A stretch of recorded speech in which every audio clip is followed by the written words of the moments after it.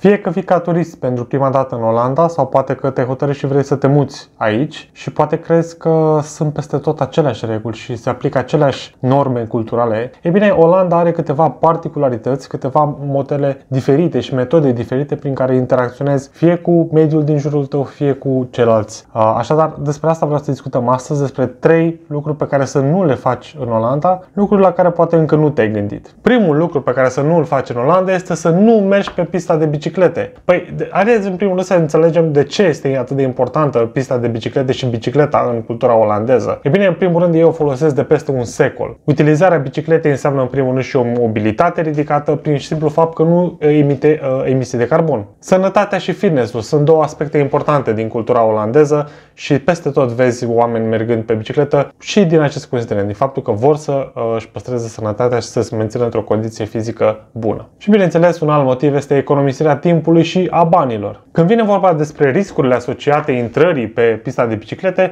aș aduce aici în discuție patru uh, elemente. Și anume, primul ar fi pericolul pentru biciclete. Dacă tu vei intra pe pista de biciclete, ei vor fi nevoiți să te ocolească, de cel mai multe ori într-un timp foarte scurt, și atunci este posibil să se lovească cu alte biciclete, cu alți pietoni sau poate chiar să nimerească pe șoseaua de mașini. Un alt risc la care te supui în momentul în care intri pe pista de biciclete este că vei încurca circulația nu vei găsi uh, unul sau doi bicicliști pe pista de biciclete, ci cu zecile. Și în momentul în care unul se oprește, de foarte multe ori și ceilalți din spatele lui se, se vor opri, mai ales dacă umblă cu biciclete uh, mai mari. Un alt risc, poate unul destul de evident, se referă la accidentare și la rănile pe care le poți avea în momentul în care pătruzi pe pista de biciclete.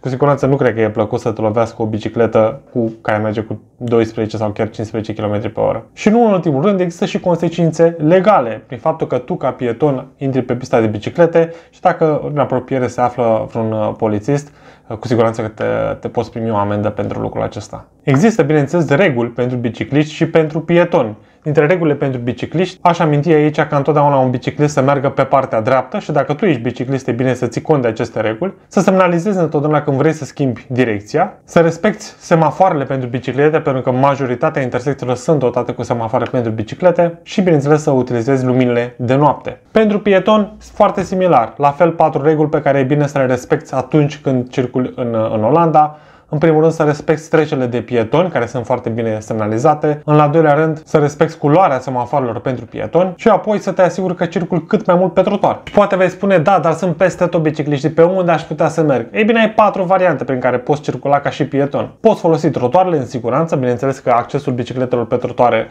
nu este permis. Poți folosi trecerile de pietoni dacă vrei să te deplasezi de pe un, de pe un, un trotuar pe celălalt. De cel mai multe ori, parcurile nu sunt destinate bicicletelor decât dacă sunt clar semnalizate și bineînțeles în centrul marilor orașe, dar și poate a micilor orașe există străzi pietonale pe care este, acces, pe care este permis accesul doar al pietonilor. Un al doilea lucru pe care ți le recomand să nu îl faci în Olanda este să nu uiți să dai check-out la cardul din mijloacele de transport în comun. Ce este acest card sau cum se numește el OV Chip Card? E bine, este un card pe care îl folosești pentru toate transporturile uh, în comun, pentru, trans, pentru autobuz, pentru tramvai, pentru metrou, pentru tren, uh, ba unele chiar și pentru biciclete și îl poți folosi atunci când te urci într-un mijloc de transport comun și când te dai jos. E bine să știi că există două tipuri de astfel de OV chip card. Există unul personal și există unul anonim. Cel anonim, evident, este ideal pentru turiști. Odată ce ți-ai încărcat cardul de la unul dintre tonomatele din stațiile de transport, este bine să știi că întotdeauna când te, uiți când te urci într-un mijloc de transport în comun sau poate când accesezi stația respectivă, vei face check-in, adică vei apropia cardul de acel tonomat ca să poți să accesezi, iar la plecare din, mijloc, din mijlocul de transport comun sau din stația respectivă, vei face același lucru care se numește check-out. Vei atinge cu cardul cititorul de uh, carduri. Ce se întâmplă dacă uiți să faci check-out? Pentru că poți să uiți să faci check-out mai ales când vine vorba despre uh, autobuz, unde nu ai o delimitare foarte clară sau nu ceva care să-ți limiteze accesul uh, în afară, e bine, sunt niște consecințe uh, financiare. Dacă uiți să faci check-out în tramvai, autobuz sau metrou, se, uh, vei avea o suprataxă de 4 euro. Dacă uiți să faci check-out în tren, vei avea o suprataxă de 20 de euro. Cum să te asiguri că nu vei avea această problemă și că nu vei avea această suprataxă? E bine, îți recomand să respecti acest plan cu 5 pași care îți asigură faptul că nu vei rămâne niciodată fără bani pe card și nu vei uita niciodată să dai check-in și check-out. În primul rând, asigură-te că ai cardul la îndemână. În al doilea rând, încarcă cardul la unul dintre tonomate. Pasul numărul 3 check-in la intrarea în autobuz sau tren sau orice alt mijloc de transport în comun, check-out la momentul în care părăsești check, uh, mijlocul de transport în comun, iar al cincilea card, din când în când, mai oprește-te la un uh, tonomat de, de carduri și verifică soldul. Dacă este sub 20 de euro, îți recomand să îl aprovizionezi cu o anumită sumă pe care tu o consideri potrivită. Al treilea lucru pe care îți recomand să nu îl faci în Olanda este să nu faci poze în Red Light District. Cu siguranță că ai auzit de Red Light District, dar dacă nu ai auzit, ce ar fi foarte pe scurt Red Light District? E bine, este această zonă din centrul Amsterdamului, capitala Olandei, unde vei găsi câteva elemente care o fac vestită. În primul rând, în Olanda, prostituția este reglementată, ceea ce înseamnă că lucrătoarele din domeniul sexului lucrează pe cont propriu și într-un mod reglementat. În Red Light District vei găsi acele faimoase vitrine roșii în care sunt expuse diferite oferte, să zicem, când vine vorba despre plăcerile sexuale. În Red Light District este foarte vestit și ceea ce se numește turismul sexual. Nu cred că trebuie să vă explic ce înseamnă turistul sexual. Nu?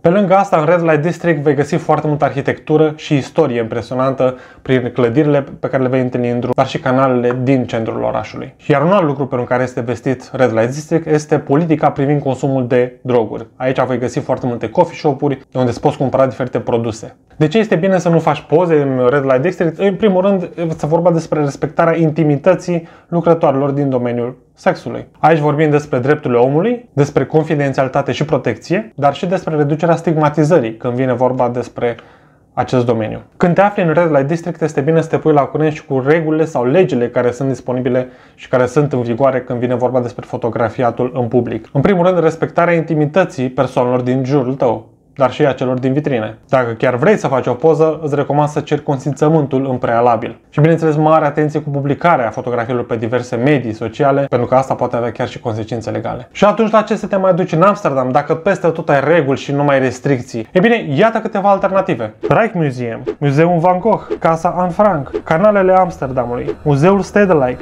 Dam Square, Grădina Kukenhof, Muzeul Maritim, Vondelpark, Casa Rembrandt, Piața de Flori, Heineken Experience, Muzeul Torturii, Palatul Regal, Madame Tussauds și bineînțeles cum am putea să uităm despre Adam Lookout, locul unde te dai în balansoar pe acoperișul uneia dintre cele mai înalte clădiri din Amsterdam.